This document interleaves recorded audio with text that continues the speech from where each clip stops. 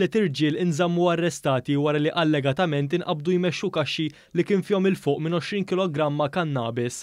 Glenn Montezin ta' 38 sena minn Ħaż-Żabbar, Wayne Schembri ta' 28 sena minn Marsaxlokk u Zach Woodhead ta' 19-il sena ċaħdu l-akkużi miġjuba kontrihom.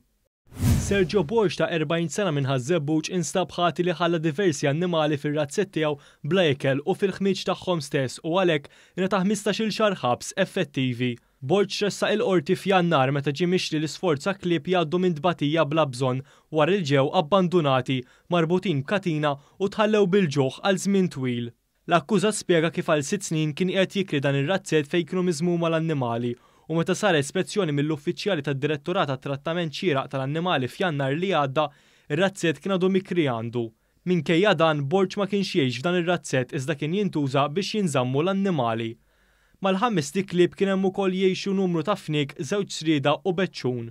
Il-Maġistrat Rachel Montebello rrimarkat kif l-akkużi miġjuba kontra Borg jeċċedu dak li huma moħqrija u krudeltà fuq l-annimali.